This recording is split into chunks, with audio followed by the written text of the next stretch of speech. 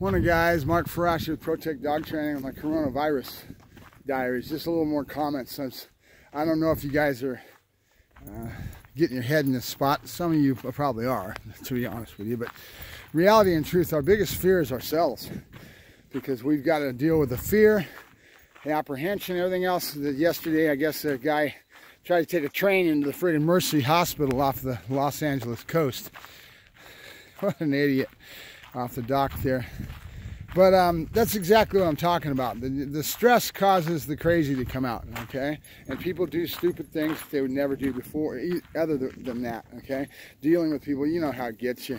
Fighting over toilet paper, you know, but that's, uh, that's the small end.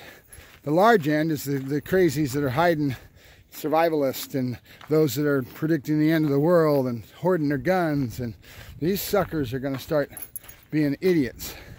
And uh, we're going to end up having to do it. And I, and this is what I talked about earlier, and this is what I want you to be aware of. Very easy for him to, in this situation, declare a national emergency and lock everything down the military. And the military will feel that this needs to be done.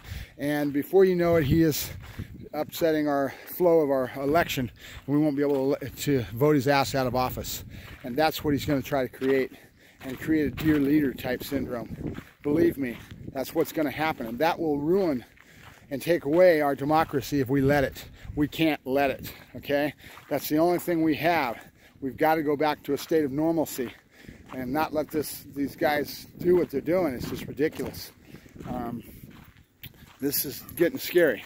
And I had a friend tell me this morning he's worried about us going to war with Iran. Well, that's exactly the sort of thing that stress of a world magnitude that's happening right now will end up causing. The stress of um, needing water, uh, the stress of needing food. These are the things that cause humans to be humans, and I've always said it, I've said it for years, we are the last link in the chain. That means that every animal eats the next animal and it goes right up the chain to us. We've always been the supreme being on the, on the earth.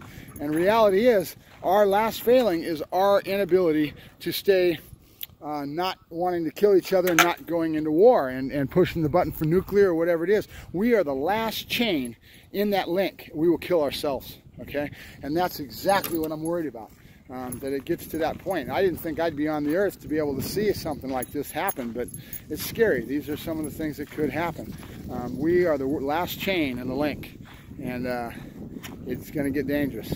So be safe out there, be careful, and realize that uh, panic's not a friend. It's something you need to kind of step back away from and realize and think and be clear-headed, you know, about what you need to do to protect your home and your family and to get through these times that are going to get worse, people. I'm, I'm telling you, it's, it's going to be scary. It's very scary. And uh, we don't have a strong leader that can keep it in check.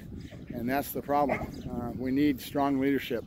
We need to get that gentleman out of office and uh, and uh, vacated from the seat and, and get a, very clear-headed leader type uh, leadership at the top of our, our situation. So I'll talk to you later. Bye-bye.